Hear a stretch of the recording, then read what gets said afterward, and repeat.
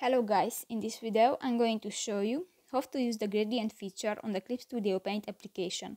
But first of all, I just want to mention, please don't forget to subscribe to our channel because at 100,000 subscribers we are going to show you our YouTube revenue statistics and growth strategy how to make money online.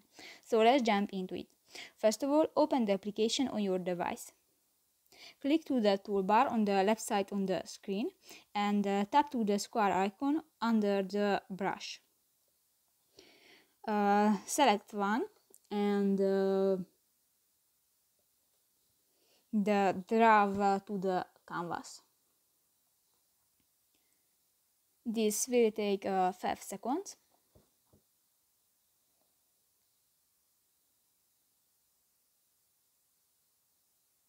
and done so that's uh, pretty much it for this video guys see you in the next one bye bye